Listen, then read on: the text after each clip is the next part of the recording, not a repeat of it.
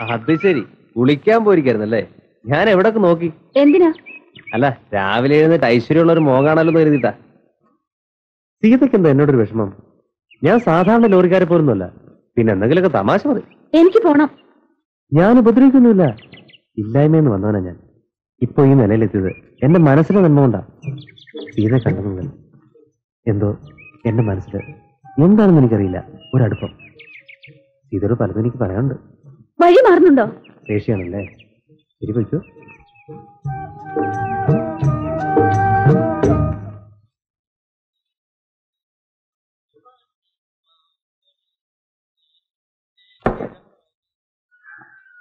ഇറച്ചിക്കറി ഒന്നുകൊണ്ട് എടുക്കട്ടെ?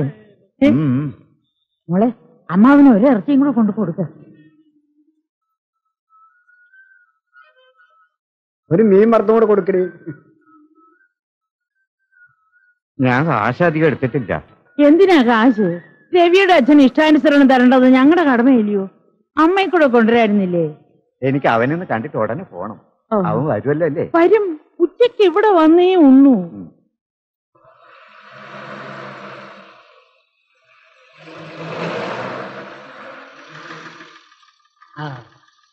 രവി വന്നല്ലോ. അങ്ങോട്ട് ഒഴിച്ചു കൊടുത്തിരിക്കും. ഇവിടുത്തെ വെപ്പും കാര്യങ്ങളും ഒക്കെ നോക്കുന്നത് എവിടെ? നന്നായിട്ടുണ്ടോ? രവി അച്ഛൻ വന്നിട്ടുണ്ട്. എപ്പോ? അച്ഛൻ എന്തിനാ വന്നത്? അച്ഛൻ ഉണ്ണട്ടെ രവി എന്നിട്ട് മതി വർത്തമാനം. ഒരാളുടെ വെപ്രാളം കണ്ടില്ലേ അമ്മേ? നീ ഓടിയോടുന്നു ഇച്ചിരി ചോറ്. ചോറിങ്ങനെ ഉണ്ണാതെ ഷുഗർ ഉള്ളതാ. അയ്യോ അച്ഛൻ ഉണ്ണട്ടെ. സമാധാനമായിട്ട് ഉണ്ണട്ടെ. നീ മുറിയിലോട്ട് പോ. അച്ഛൻ അങ്ങ് വരും. നീ ചോറ് വിളമ്പിക്കൊടു മോളെ.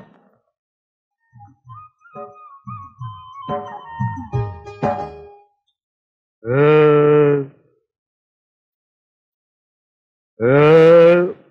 നാട്ടിക്കാണ് നാട്ടിക്കാണോ ഇങ്ങോട്ട് കെട്ടി എഴുന്നള്ളത് നാറാൻ പോണേ ഞാനാ. കുന്നംകുളത്തുനിന്ന് ആ പെണ്ണിന്റെ അമ്മ വന്നിരുന്നു. കല്യാണം ഉടനെ നടത്തണമെന്ന്. എന്നിട്ട് അച്ഛൻ എന്ത് പറഞ്ഞു? ഞാൻ എന്താ പറയണ്ടേ? ഉടനെ നടത്താനൊന്നും പറ്റില്ല. നമുക്കൊരു സമയം വേണം. ഉടനെ നടത്താനും പറഞ്ഞു മുപ്പതിനായിരം രൂപ മുൻകൂർ വാങ്ങിയതോ? അതൊക്കെ ശരിയാ. ഞാനിപ്പോ വണ്ടി വാങ്ങിയല്ലേ ഉള്ളൂ. ഒരു നിലനിൽപ്പാവട്ടെ. അതുവരെ ക്ഷമിക്കാൻ പറ്റില്ലെങ്കിൽ വാങ്ങിയാൽ തിരിച്ചു കൊടുത്തേക്കാം. എവിടുന്ന് കൊടുക്കും? വണ്ടിയുടെ ബുക്കും പേപ്പറും വെച്ചാ മുപ്പതിനായിരം രൂപ ഈസി ആയിട്ട് കിട്ടും. അച്ഛനത് ശരിപ്പെടുത്തു. അപ്പൊ ആ കല്യാണം വേണ്ടേ? എന്റെ അച്ഛ ഇപ്പൊ ഒരു വണ്ടി വാങ്ങിയില്ലേ? ഇനി ഇതിൽ നാല് കാശുണ്ടായ ഇതിനേക്കാൾ നല്ല ബന്ധം നമുക്ക് കിട്ടും. പിന്നെ എന്തിനാ ചീക്കപ്പോർക്ക് വല്ലിരിക്കുന്ന ആ പെണ്ണ്? നീ എന്നെ കണ്ടോരുടെ തല്ല് കൊള്ളിക്കും. അച്ഛൻ വേഗം പോകാൻ നോക്ക്. ഇനി എന്നെ അന്വേഷിച്ച് ഇങ്ങോട്ട് വരണ്ട. മാസാ മാസം എത്രയെന്ന് വെച്ചാ ഞാൻ അങ്ങോട്ട് അയച്ചു തന്നേക്കാം. പോരെ. മതി. എന്നാ വേഗം പോകാൻ നോക്ക്. ആ ചായക്കടക്കാരിയുടെ ഒരു വാക്ക് പറഞ്ഞിട്ട്. അതൊക്കെ ഞാൻ പറഞ്ഞോളാം. ചെല്ലേ.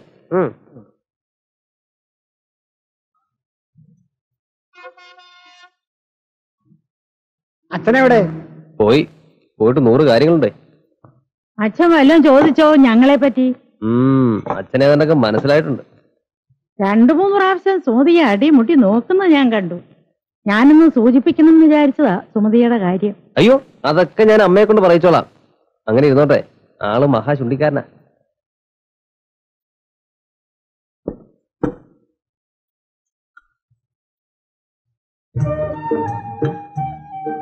അച്ഛൻ ഇഷ്ടപ്പെട്ടിട്ടുണ്ട്.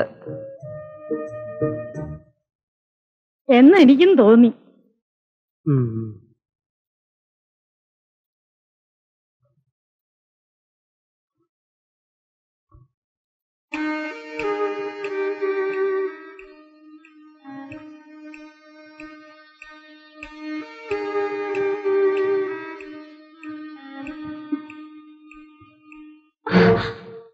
ആരത്?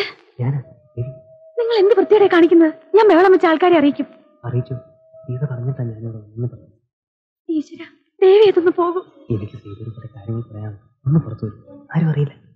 എനിക്കൊന്നും കേൾക്കണ്ട. പറഞ്ഞില്ലെങ്കിൽ എന്റെ മനസ്സ് പൊട്ടിപ്പോ. സീത എനിക്ക് അത്ര ഇഷ്ടമാണ് എനിക്ക് നിങ്ങളെ ഇഷ്ടമല്ല. പക്ഷെ ഞാൻ സ്നേഹിച്ചു പോയി. സീതയെ കണ്ടിട്ടാണ് ഞാനിവിടെ താമസിച്ചതല്ല സീത എന്നെ വരക്കരുത്.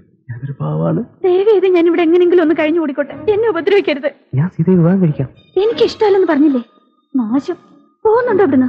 ഞാൻ പോവില്ല. എന്ത് കഷ്ടാണ് ഈശ്വര.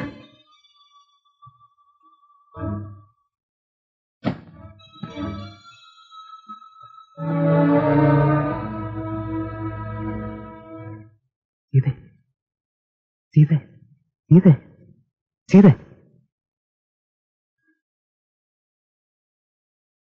സുമതി എന്തൊരു ഉറക്കായത്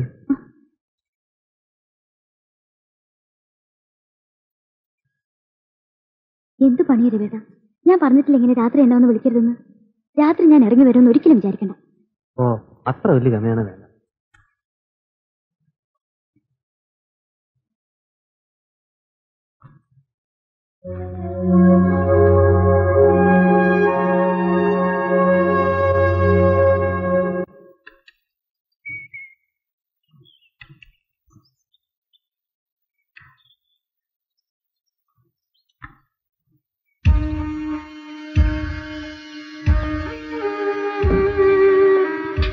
ബാറ്ററി വെള്ളമുണ്ടല്ലോ. അല്ലടാ.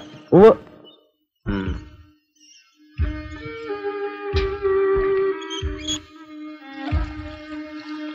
കൈ കഴുകാൻ ഇത്തിരി വെള്ളം തരുമോ എന്നെ മണ്ടനാക്കിന്ന് വിചാരിക്കണ്ട. ഒരാശ തോന്നിയാൽ രവി നടത്തിയിരിക്കും. പോട്ടെ.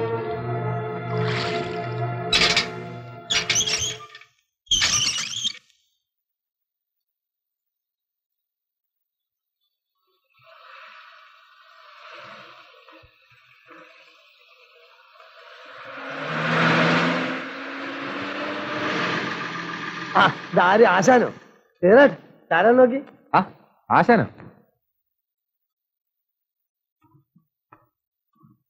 നീ ഇതെവിടുന്ന് വരുന്നു? ഞാൻ പി ജിന്ന് വരുവാ. ആശാനിപ്പോ അസുഖമൊന്നുമില്ലല്ലോ. സുഖല്ലേ പരമസുഖം. ഡോക്ടറുടെ അമ്മ വന്നിട്ടുണ്ടായിരുന്നു. അവരെ പാലക്കാട് വീട്ടിൽ കൊണ്ടാക്കാൻ പോയത്. ആശാൻ പിന്നെ എന്തിനാ ജോലിക്ക് പോകണം ചെലവിനുള്ള കാശ് ഞാൻ അയച്ചിരുന്നല്ലോ. കാശല്ലടാ കാര്യം. ഒന്ന് രക്ഷപ്പെടണ്ട വീട്ടിൽ രാധ എന്ത് പറയുന്ന ആശാൻ? എന്ത് പറയാ ജീവനോടെ ഉണ്ട് വല്ലതും ചോദിച്ചാൽ ഒരു വാക്ക് മിണ്ടും. ഏത് നേരം മുറിയിൽ വാതിലടുത്തിരിക്കുന്നത് കാണാം. പുറത്തേക്ക് ഇറങ്ങില്ല അല്ല പുറത്തേക്ക് ഇറങ്ങാതിരിക്കണം നല്ലത്. നമ്മുടെ നാട്ടിൽ ഇത്രയും പേരത്തെ കഥാകൃത്തുകൾ ഉണ്ടെന്ന് ഞാൻ ഇപ്പോഴാണ് മനസ്സിലാക്കുന്നത്. എന്തൊക്കെ കഥകളാ പറഞ്ഞുണ്ടാക്കണം ഒക്കെ നിന്നെ കൂട്ടിയ. അതാ ഞാനിപ്പോ അങ്ങോട്ട് വരാത്ത വരണ്ട. നീയെങ്കിലും സമാധാനമായിട്ട് ജീവിക്കും. ഞാനൊരു കാര്യം പറഞ്ഞ ആശ സമ്മതിക്കൂ. എന്താ? ഒരു വീട് വാടകയ്ക്ക് എടുത്തിട്ട് ആശാനെ രാധയും വിളിച്ച വന്ന് എന്റെ കൂടെ താമസം എന്റെ ഒരു ആശയാണ് അത് നിനക്കൊരു ഭാരമാവും ശ്രീധര ആ ഭാരം എനിക്ക് സന്തോഷമല്ലേ ആശാനെ? ഒറ്റപ്പെട്ടെന്നുള്ള തോന്നൽ എനിക്കും ഇല്ലാണ്ടാവും. നാട്ടിൽ നിന്ന് എങ്ങോട്ടെങ്കിലും ഒന്ന് മാറി താമസിക്കണമെന്ന് ഞാനും ആലോചിക്കാണ്ടേ അല്ല നോക്കട്ടെ ഞാൻ അവളോട് കൂടി ചോദിക്കട്ടെ. കുറച്ച് ദിവസമെങ്കിൽ കുറച്ച് ദിവസം. ഇവിടുന്ന് പോയാൽ തന്നെ മനസ്സിന് കുറച്ച് സുഖം കിട്ടും. ശ്രീധരന്റെ അടുത്താവുമ്പോ അത് നമുക്കൊരു ഉറപ്പാണ്. അന്യൊരുത്തനല്ലല്ലോ. ഞാൻ പറയണ വല്ല നീ കേൾക്കുണ്ടോ രാധേ എന്തെങ്കിലും ഒന്ന് പറയേ നീ.